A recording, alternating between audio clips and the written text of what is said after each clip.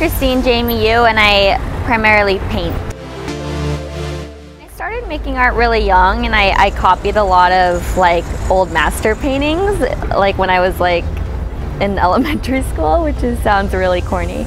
But, um, and then I stopped for a while and then I came back to it and took it seriously as, you know, an adult. And um, am now doing it freelance and kind of working it towards a career thing. I mainly draw from real life or draw and paint from real life so everything is uh, it's like impressionistic more so but it's based in realism and then um, in addition to painting I do I also do sculpture and uh, performance art but that is also based in kind of like my personal life experiences so everything is based in in life itself. My goals in art are kind of broad. I don't think it's going to sound bad, but I don't really have goals except to just make art and do something that I am proud of and have people see it. I think RAW is a great organization because the community bringing together so many various types of artists and kind of